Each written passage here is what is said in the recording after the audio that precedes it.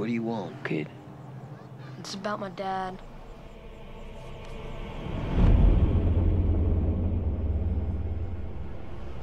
I want you to hurt him. You know it's a sin just to ask me that. I know. People said before you were a preacher, you did things.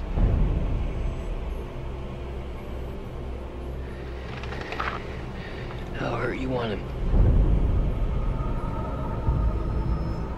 How it will go? Problem is, your daddy's a big fella. He's gonna fight back. Things will escalate. That's what these things do. They escalate. And violence makes violence. Makes nothing much at all. Preacher! Enough. Almost done, Sheriff. Is that what you want, kid?